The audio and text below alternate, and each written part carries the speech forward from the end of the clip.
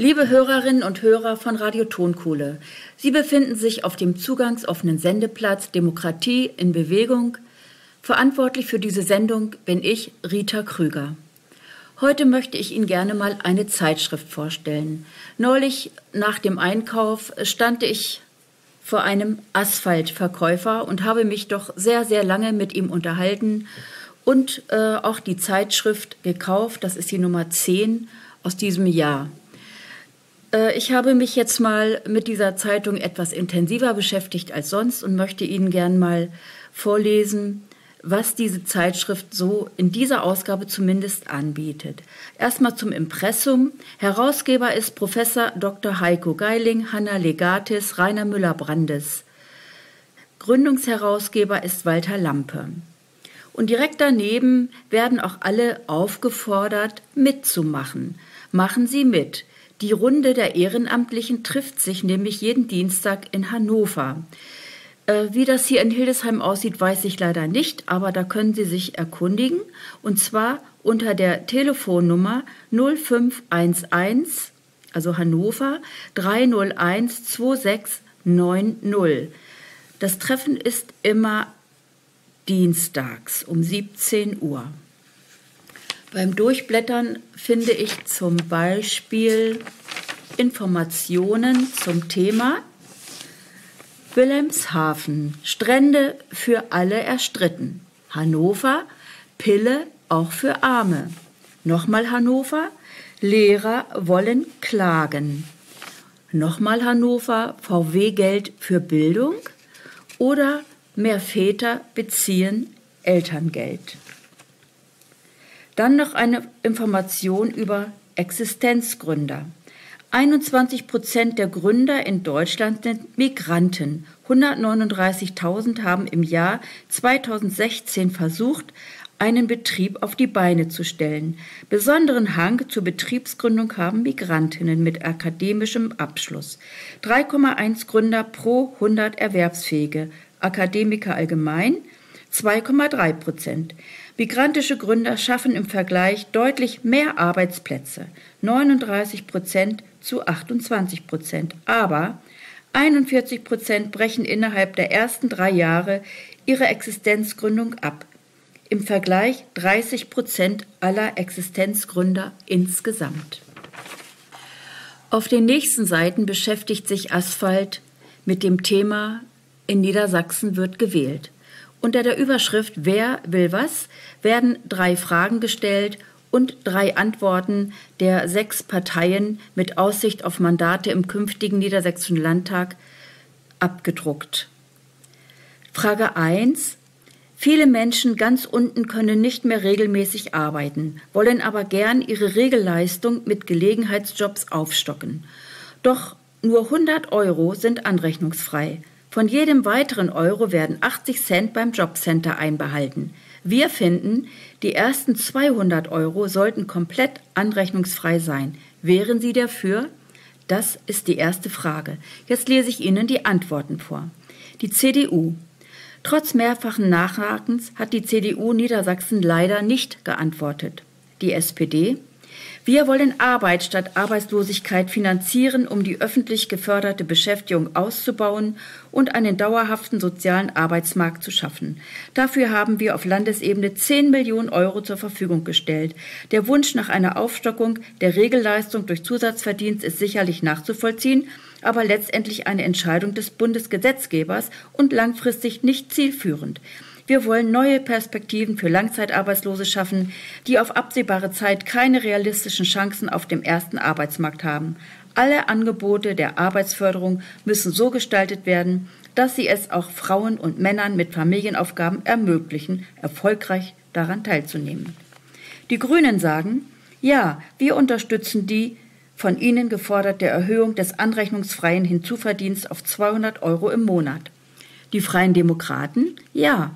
Dies ist Bestandteil unserer Idee des Bürgergeldes. Wir wollen steuerfinanzierte Sozialleistungen wie beispielsweise die Regelleistung und die Unterkunftskosten des Arbeitslosengeldes II, die Grundsicherung im Alter, die Sozialhilfe zum Lebensunterhalt, den Kinderzuschlag und das Wohngeld in einer Leistung und an einer staatlichen Stelle zusammenfassen. Das liberale Bürgergeld macht es für alle Menschen, die auf die Hilfe der Gesellschaft angewiesen sind, einfacher und lässt sie nicht länger von Amt zu Amt rennen. In diesem Zusammenhang soll auch selbstverdientes Einkommen nur prozentual und geringer als heute angerechnet werden. Die Linke sagt, die Linke fordert die Ersetzung von Hartz IV durch eine Mindestsicherung auf existenzsicherndem Niveau.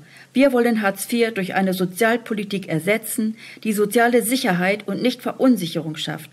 Wir berufen uns auf das Hartz-IV-Urteil vom 9. Februar 2014, in dem das Bundesverfassungsgericht festgestellt hat, dass alle anderen Parteien außer der Linken mit der Hartz-IV-Politik gegen die Menschenwürde verstoßen haben. Die vorgeschlagene Anrechnungsfreiheit von 200 Euro kann daher nur ein erster Schritt sein. Die AfD, ja, diesen Vorschlag können wir vorbehaltlos unterstützen.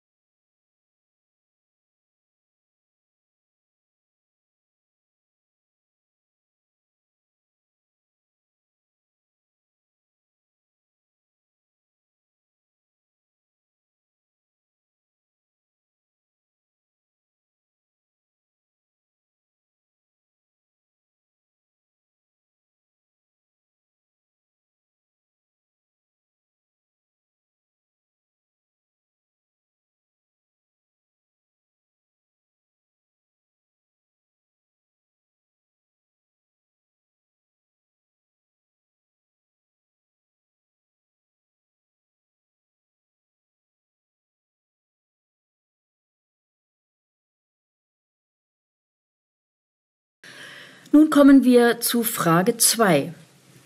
Geschätzt 9000 Menschen in Niedersachsen sind ohne Wohnung. Sie leben teils seit Jahren auf der Straße oder in Unterkünften. Wir sagen, das Recht auf eine eigene Wohnung muss in der Landesverfassung über Artikel 6a hinaus garantiert werden. Gute Idee? CDU? Trotz mehrfachen Nachhakens hat die CDU Niedersachsen leider nicht geantwortet. SPD? Bevor das Recht auf eine eigene Wohnung in die Verfassung aufgenommen wird, müssen die erforderlichen Grundlagen sichergestellt werden. Bekanntlich ist für die Änderung der Verfassung eine Zweidrittelmehrheit erforderlich. Bisher war die Herstellung einer solchen Mehrheit im Parlament immer schwierig und langfristig. Deshalb hat für uns Priorität nach anderen Möglichkeiten zu suchen, wobei die Thematik nicht zwangsläufig eine Landesaufgabe ist. Die wichtigsten wohnungspolitischen Ziele der SPD sind weiterhin soziale Städte und lebenswerte Quartiere mit bezahlbarem Wohnraum. Die Grünen Entscheidend ist, dass es ausreichend bezahlbaren Wohnraum gibt. Mit dem von uns Grünen mit angeschobenen 400 Millionen Euro Sofortprogramm für den sozialen Wohnungsbau sollen ab 2017 zusätzlich bis zu 8000 Wohnungen gefördert werden. Für die Zukunft wollen wir Grünen auch den Ankauf von Belegungsrechten als Instrument zur Sicherung der Sozialbindung nutzen. Um der weiterhin großen Nachfrage nach besonders günstigem Wohnraum gerecht zu werden, wollen wir die öffentliche Forderung weiterführen und ausbauen. Außerdem unterstützen wir Städte und Gemeinden bei der Erstellung von Leerstands- und Baukatastern, um vorhandene Flächen schneller nutzbar zu machen. Die Freien Demokraten sagen, auch wir sehen das Problem und wollen möglichst allen Menschen Wohnungen anbieten können. Eine verfassungsmäßige Garantie ist aus unserer Sicht aber der falsche Weg. Die vorhandene Wohnungsnot kann nur gemildert werden, indem es Investitionen in Wohnräume gibt. Die öffentliche Hand wird diese Investitionen nicht alleine leisten können. Wesentlich sinnvoller wäre es aus unserer Sicht, allen am Wohnungsmarkt beteiligten Akteuren das tatsächliche Bauen zu erleichtern, sei es beispielsweise durch die Abschaffung überzogener Energievorgaben oder aber auch durch die Entbürokratisierung des Baurechts. Die Linke sagt, eine sehr gute Idee wird unsere neue Fraktion in den Landtag einbringen. In unserem Wahlprogramm heißt es im Kapitel Wohnen ist ein Menschenrecht. Die Linke strebt ein Niedersachsen an, in dem für alle Menschen hinreichend Wohnraum zur Verfügung steht und Menschen aufgrund ihrer sozialen Lage nicht aus ihren Wohnungen verdrängt werden können. Nach Artikel 6a der Niedersächsischen Landesverfassung soll das Land seine Bevölkerung mit angemessenem Wohnraum versorgen. Beim Durchsetzen dieses Menschenrechts haben die bisherigen Landesregierungen versagt. Die AfD Niemand muss in Deutschland auf der Straße leben. Die Kommunen sind verpflichtet, wohnungslosen Menschen, in Klammern Obdachlose, eine Unterkunft zu stellen. Zunächst werden diese Menschen kurzfristig in eine Obdachlosenunterkunft eingewiesen. Manchmal gelingt es auch, Obdachlosen sehr kurzfristig eine Wohnung zuzuweisen. Die Sozialämter der Kommunen werden nach unserer Erfahrung sehr zügig tätig, um den Betroffenen eine zumutbare Wohnung zuzuweisen. Da wir aufgrund des Artikel 20 unserer Verfassung zwingend ein Sozialstaat sind, ist die verfassungsmäßige Verankerung des Rechts auf eine eigene Wohnung in der Landesverfassung nicht erforderlich. Jetzt komme ich zu Frage 3. Viele Menschen, vorrangig aus Osteuropa, arbeiten bei uns unter ausbeuterischen Bedingungen. Sie schlafen in Zelten oder Baracken. Wir meinen, es fehlen staatlich geförderte Ankunftshäuser für Wanderarbeiter, von denen aus diese auf drei Monate befristet für wenig Miete loslegen können. Was sagen Sie dazu? CDU. Trotz mehrfachen Nachhakens hat die CDU Niedersachsen leider nicht geantwortet. SPD. Staatlich geförderte Ankunftshäuser lehnen wir ab. Dies gilt auch für eine menschenunwürdige Unterbringung. Hier sind auch die vor einigen Jahren vorgefundenen Rahmenbedingungen in der Fleischindustrie zu nennen, die ein sehr bedrückendes Thema gewesen sind. Das Land hat damals mit seiner politischen Initiative maßgeblich zu einem Tarifabschluss in der Fleischindustrie beigetragen.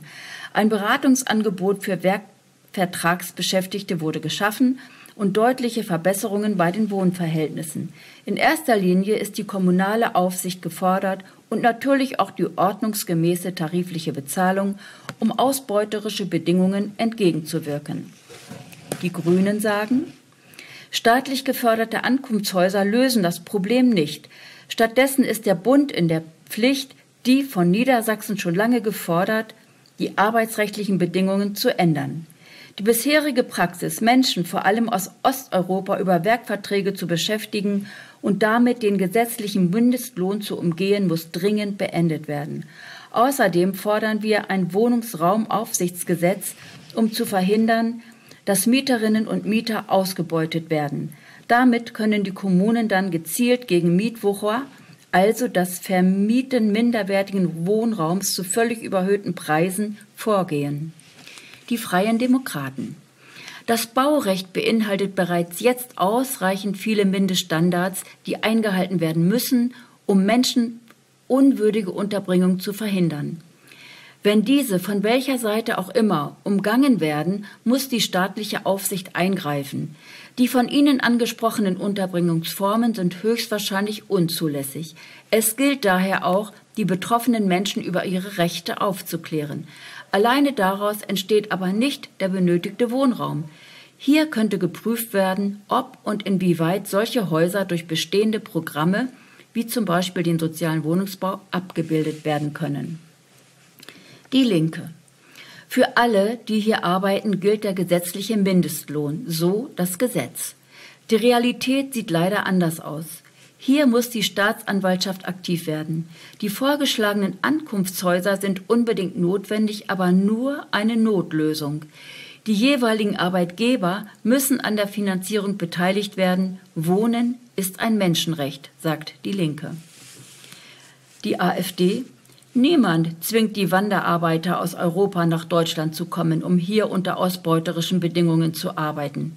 Wer nach Deutschland kommt, um hier zu arbeiten und gutes Geld zu verdienen, muss sich vorab um eine seriöse Arbeitsstelle und um eine Unterkunft bemühen.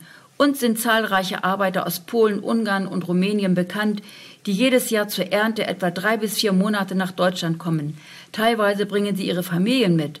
Sehr häufig gehen sie immer wieder auf die gleiche Arbeitsstelle. Diesen saisonalen Arbeitskräften wird vom Arbeitgeber in aller Regel eine gute Unterkunft gestellt. Staatliche Ankunftshäuser für Wanderarbeiter? Nein.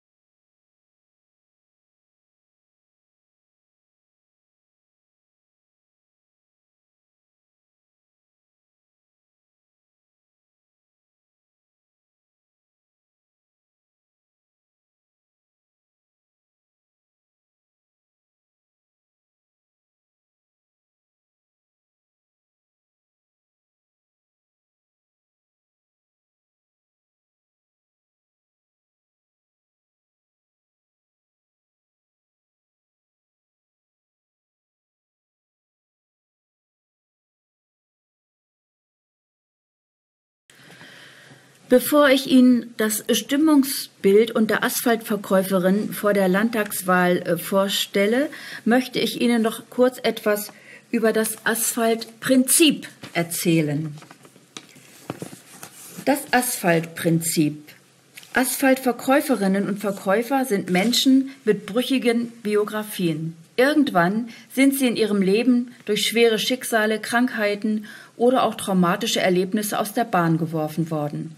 Heute versuchen sie, durch den Verkauf des Asphaltmagazins ihrem Leben wieder Struktur und Sinn zu verleihen. Viele sind oder waren wohnungslos, alle sind von Armut betroffen. Sie kaufen das Asphaltmagazin für 1,10 Euro und verkaufen es für 2,20 Euro weiter. Asphalt ist eine gemeinnützige Hilfe zur Selbsthilfeeinrichtung und erhält keinerlei regelmäßige staatliche oder kirchliche Zuwendung.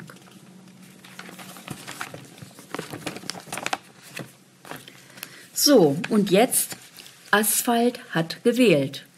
Ein Stimmungsbild unter Asphaltverkäufern vor der Landtagswahl. Ich fange an mit der CDU. Die Asphaltverkäufer würden die CDU wählen und zwar 16 Prozent. Die SPD bekäme 32 Prozent die Linke 12,5 Prozent, die Grünen ebenfalls 12,5 Prozent, das Bündnis Grundeinkommen 3 Prozent, sonstige 3 Prozent, die AfD 18 Prozent. Rund 100 Menschen verkaufen aktuell in Hannover das Asphaltmagazin. Knapp die Hälfte von ihnen hat an der sogenannten Sonntagsfrage, die wir Mitte September im Asphaltvertrieb durchgeführt haben, teilgenommen. Anonym und diskret selbstverständlich. Das waren teils überraschende Ergebnisse. Wenn es also am 15. Oktober nach dem Willen der Asphaltverkäufer ginge, wäre eine Fortsetzung der bisherigen Koalition im Niedersächsischen Landtag nicht mehr möglich. Auch eine SPD-CDU-Koalition nicht, denn die CDU kommt in der Gunst der Asphalte auf eine nur magere 16 Prozent. Die FDP ist ganz außen vor. Die AfD erhielte beinahe 20 Prozent. Ein Kreuz von jedem Fünften. Ist das schockierend? Schon. Nachvollziehbar? Nein. Verständlich? Ja. Die AfD vertritt zwar wirtschafts- und sozialpolitisch eindeutig nicht Interessen von Armen und Arbeitslosen, doch die Enttäuschung der Menschen, die einst aus unterschiedlichsten Gründen aus der Bahn geworfen wurden, ist immens. Nicht wahrgenommen zu werden, im Zweifel in der Schlange, um staatliche Zuwendung hinten zu stehen, ist Asphaltern ständiges Gefühl und oft Erfahrung. Jedes fünfte Kreuz bei der AfD ist mehr Hilfeschrei denn Protest. Seht ihr mich? Gründungsherausgeber Walter Lampe hat Asphalt immer ein Brückenprojekt genannt, von Mensch zu Mensch, auf Augenhöhe. Kommen Sie ins Gespräch, kommen Sie auf die Straße, bitte sprechen Sie uns an, sprechen Sie mit uns, sagt Volker Macke. Jetzt noch eine Information, die für viele vielleicht nicht selbstverständlich ist, denn auch wohnungslose Bürgerinnen und Bürger sind wahlberechtigt. Wählen darf, wer am Wahltag erstens die deutsche Staatsbürgerschaft besitzt, zweitens mindestens 18 Jahre alt und nicht vom Wahlrecht ausgeschlossen ist, drittens seit drei Monaten in Hannover oder Hildesheim oder anderenorts übernachtet hat, bei Personen ohne Wohnung gilt der Ort des gewöhnlichen Aufenthaltes als Wohnung. In Hildesheim melden Sie sich bitte, um ein sich ins Wahlverzeichnis eintragen zu lassen in der Hannoverschen Straße 6a.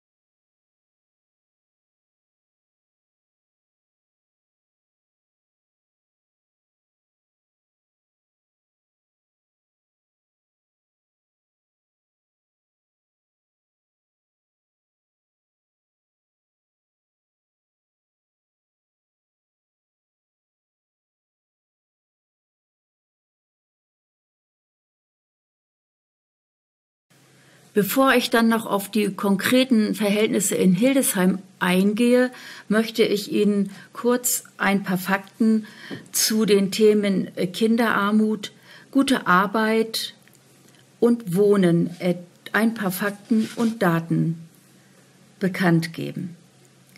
Kinderarmut. Über 220.000 Kinder in Niedersachsen wachsen in Armut auf. Die Kinderarmut liegt in Niedersachsen über dem Bundesdurchschnitt und ist unter Rot-Grün angestiegen. Besonders häufig arm sind Kinder von Erwerbslosen, Alleinerziehenden, Migrantinnen und mit mindestens zwei Geschwistern. Arm sein bedeutet beengte Wohnungen, schwierige Stadtviertel, kein Geld für Hobbys, für Wünsche, nie Urlaub. Das hat auch gesundheitliche Auswirkungen. Die statistische Lebenserwartung eines Kindes, das in eine arme Familie geboren wird, ist elf Jahre niedriger als die eines Kindes aus wohlhabendem Hause. Dabei gilt, Kinderarmut ist in erster Linie Elternarmut. Zum Thema gute Arbeit, planbares Leben. Gute Arbeit ist immer unbefristet, tariflich entlohnt und mitbestimmt. Die Arbeitswelt hat sich in den letzten Jahren massiv verändert. Durch die Politik von SPD, Grünen, CDU, CSU und FDP wurden viele Beschäftigte in prekäre Arbeitsverhältnisse abgedrängt. Dabei wird der derzeit bestehende Mindestlohn oft umgangen. Diese Spaltung des Arbeitsmarktes hat auch die sogenannten Normalarbeitsverhältnisse unter Druck gesetzt und die Arbeitsbedingungen von vielen Beschäftigten verschlechtert. Der Stress hat zugenommen, Löhne wurden gekürzt, Sonderzahlungen gestrichen. Viele Beschäftigte haben Angst davor, ihren Arbeitsplatz zu verlieren und davor, durch die niedrigeren Löhne in die Altersarmut gedrängt zu werden. Den Veränderungen durch die fortschreitende Technologisierung und Digitalisierung der Arbeit muss mit Arbeitszeitverkürzung bei vollem Lohn und Personalausgleich begegnet werden. An erster Linie steht, dass die Veränderungen auf dem Arbeitsmarkt nicht zu Nachteilen für die Arbeitnehmerinnen führen dürfen. Im Landtagsprogramm der SPD hat sie 2013 angekündigt, Lohndumping durch Leiharbeit zu beenden und stabile statt befristete Beschäftigungsverhältnisse zu schaffen. Nach einem Bericht des DGB befinden sich 41,7 Prozent der Beschäftigten in Niedersachsen in atypischen Beschäftigungsverhältnissen wie Leiharbeit, Teilzeit und Minijobs. Der Anteil prekärer Beschäftigungsverhältnisse ist in den vergangenen Jahren kontinuierlich gestiegen, ein Armutszeugnis. Die offizielle Arbeitslosigkeit lag im August 2017 bei 244.241 Arbeitslosen.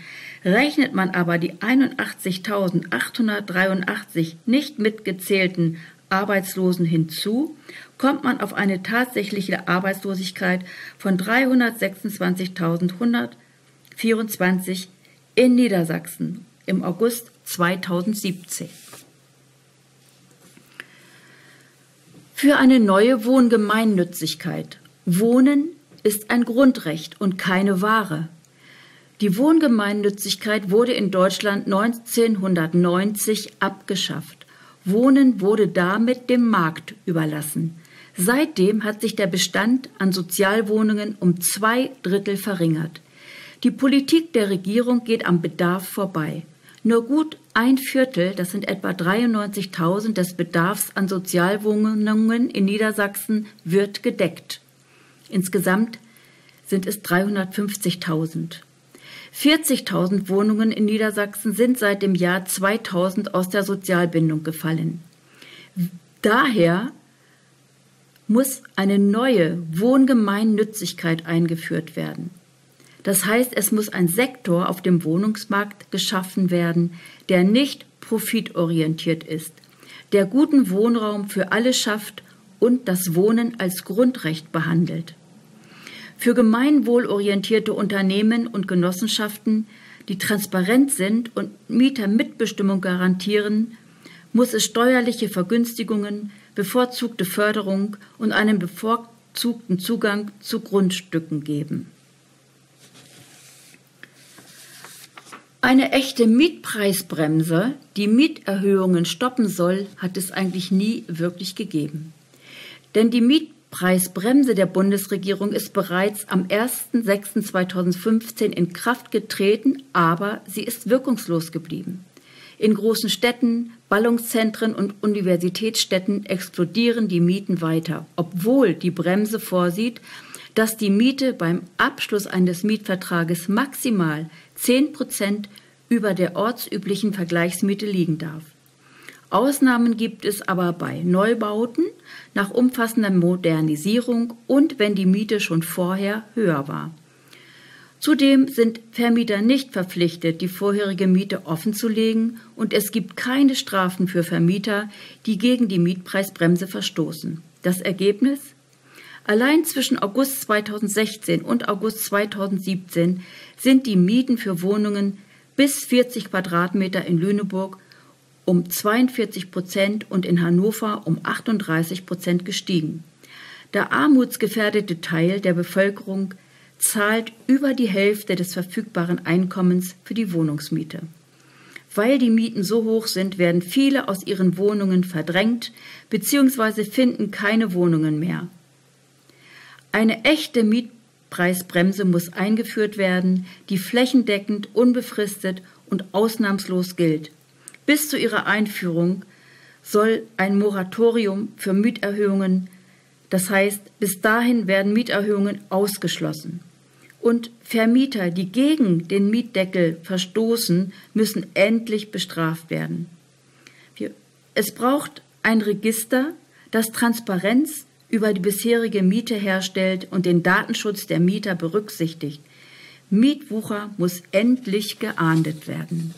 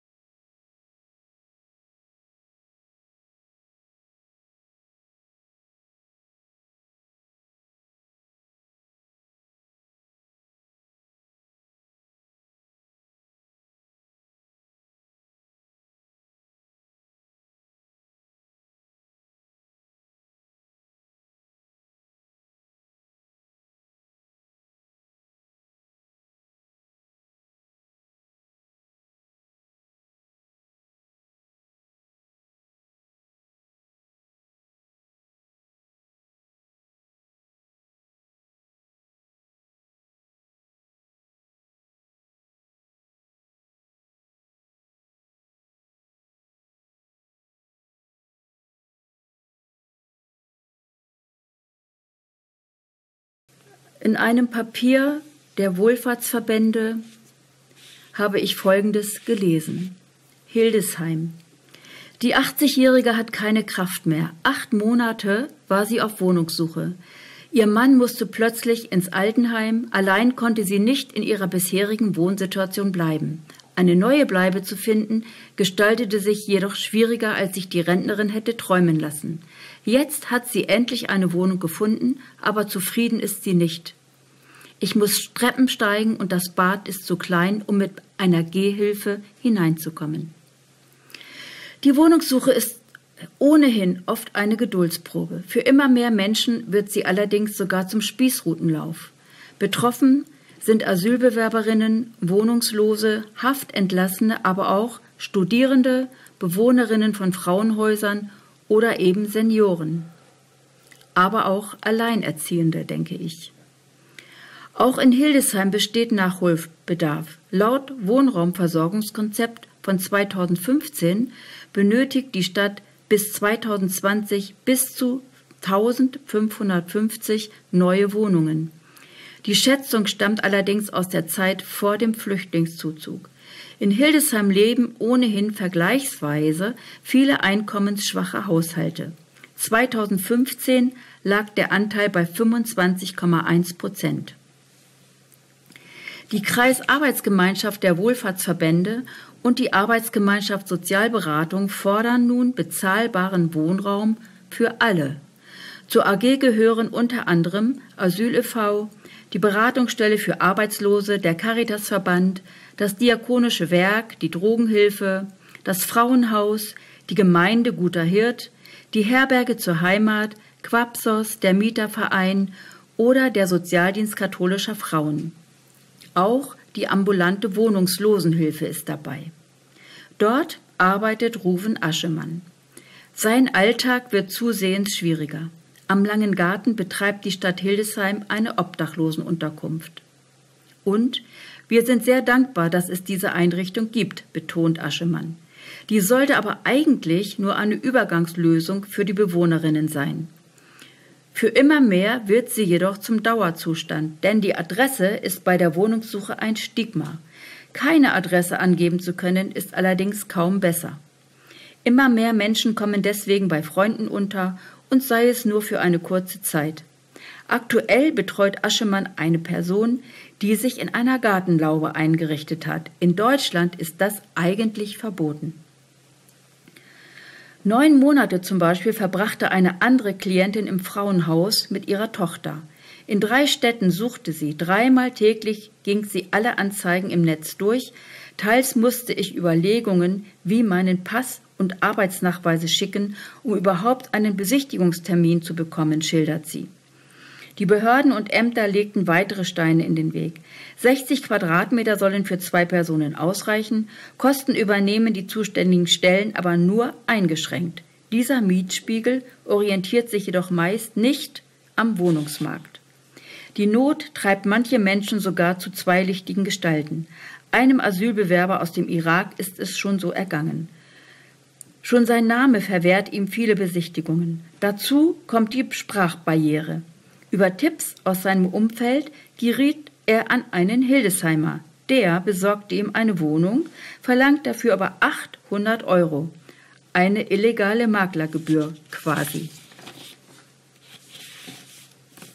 Am 6. Oktober gab es in Hildesheim einen Aktionstag. Und zwar fordert er bezahlbaren Wohnraum in vernünftiger Qualität für alle.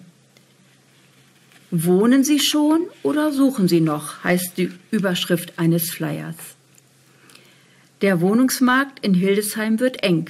Liebe Hildesheimer Mitbürgerinnen und Mitbürger, Sie haben in den letzten Monaten versucht, eine neue Wohnung zu finden und gehören nicht zu den einkommensstarken Bewohnern der Stadt? Dann haben Sie sicherlich gemerkt, dass passender, bezahlbarer Wohnraum in Hildesheim schwer zu finden oder Glückssache ist. Die Kreisarbeitsgemeinschaft der Wohlfahrtsverbände und der Arbeitskreis Sozialberatung Hildesheim beschäftigen sich schon länger mit der schwierigen Lage auf dem Hildesheimer Wohnungsmarkt für einkommensschwächere Haushalte. Wir registrieren in unserer täglichen Arbeit die vielfältigen und gravierenden Probleme der Ratsuchenden bei der Wohnungssuche in Hildesheim. Die Mieten steigen. Es gibt nicht ausreichend günstige Mietangebote, nicht alle Personengruppen werden als Mieter akzeptiert. Dies führt unter anderem dazu, dass Menschen in viel zu beengtem Wohnraum oder in Wohnungen mit sehr schlechtem Zustand leben müssen. Letztlich steigt die Obdachlosigkeit. Mit unserem Aktionstag möchten wir Sie als Öffentlichkeit informieren und fordern gegenüber Verwaltung und Politik bezahlbaren Wohnraum in vernünftiger Qualität für alle. Das bedeutet erstens Schaffung von neuem Sozialwohnraum als Neubau und im Bestand, Erarbeitung eines kommunalen Wohnraumförderprogramms zur Steuerung und finanziellen Ergänzung der Fördermittel von Land und Bund, Förderung von bezahlbaren barrierefreien Wohnungen auch im Rahmen von gemeinschaftlichen Wohnformen. Zweitens Bestandssicherung preiswerten Wohnraums durch Ausweisung Hildesheims als Gebiet mit angespanntem Wohnungsmarkt und damit unter anderem Einführung der Mietpreisbremse. Beseitigung von Wohnungsleerständen im städtischen und im privaten Wohnungsbestand. Erarbeitung eines Mietspiegels zur Schaffung von Transparenz und Rechtssicherheit auf dem Hildesheimer Wohnungsmarkt.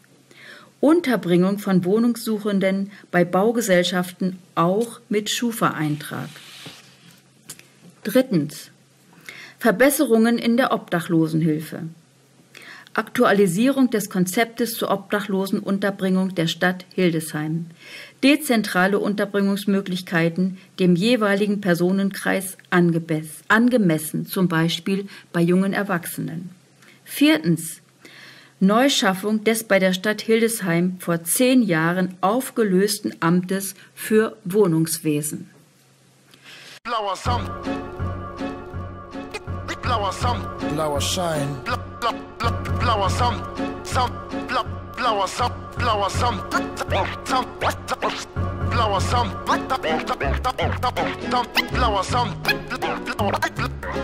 Blauer Samt. Samt. Ey, Baby blau, blauer Sound, baby, baby.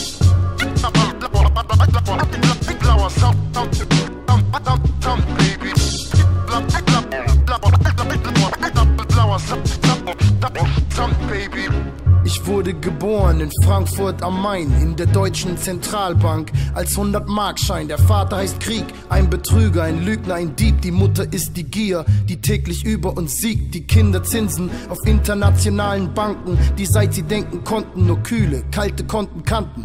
Meine Opfer sind Menschen, so wie du. Ich geb euch die Illusion von Macht und ihr gebt Ruhe. So viele denken, ich gehöre ihnen, doch sie gehören alle mir. Schau nur, wie sie mir dienen. Ich kontrolliere ihre Ziele, Träume, ihr Verhalten und Verlangen, bis sie mich zu vergöttern anfangen. Bringe Paare zusammen, reiß Familien in zwei. Und hört man von Streit, sei sicher, ich war dabei. Ich nahm Gott den Glauben und hab den Teufel getauft. Und auch diese Platte wurde durch mich gekauft. Meine Macht reicht so weit wie des Himmelsreich. Blauer Samt wie das Meer so weich und kalt zugleich. Auch bei dir bin ich ein immer gern gesehener Gast. Aber sieh dich vor, dass du dich nicht zu meinem Sklaven machst. Er war angestellt, ackert hart für das Geld. Freitag ist Zahltag, kaum zu Hause Nutte bestellt. Er hielt mich so fest in seiner Hand. Doch wie schnell gab er mich frei, als sie in seinem Zimmer stand. Gierig die Lippen geleckt, Chantre anstatt Sekt. Mit feuchten Fingern hat er mich in ihren Ausschnitt gesteckt. Gutes Geschäft, ne Nummer 100 Mark. Doch ihr Glück währte leider nur bis zum nächsten Tag. Ihr Freund ein Verlierer, ein Schläger, Autoschieber, schräger Dealer, Hehler, Spieler. Wie im Fieber den Zaster verprasst. Vor lauter Hass nicht aufgepasst, von den Bullen gefasst. Sitzt im Knast, den Kopf voller Koks, hört er wie der Bulle sagt. Heute ist ein Glückstag, ich lass dich gehen für einen geringen Betrag. So kam ich in die Uniform von einem Polizist, denn ich bin der Grund, warum man Recht und Gesetz vergisst. Das Vokabular von Geld kennt kein Nein. Und kennt ihr Torch? Auch er fiel auf mich rein, auch der Pfarrer nahm mich feierlich auf. Wie besessen zelebrierte mich, verehrte mich in seinen Messen dankte mir mit weißem Brot und rotem Wein, denn nichts ist ihm so heilig wie der blaue Heiligenschein. In den vorderen Reihen sitzen die, die wissen, was läuft. Ich dachte, Hip-Hop sei anders, ihr habt mich ein bisschen enttäuscht.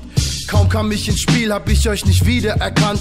Ich werd immer wieder in euren Liedern genannt. Als Problem oder Held oder Ziel dir bekannt.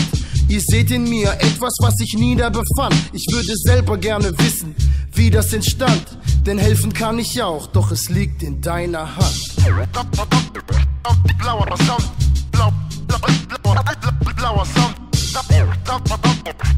Blauer Sound, blauer Sound, baby.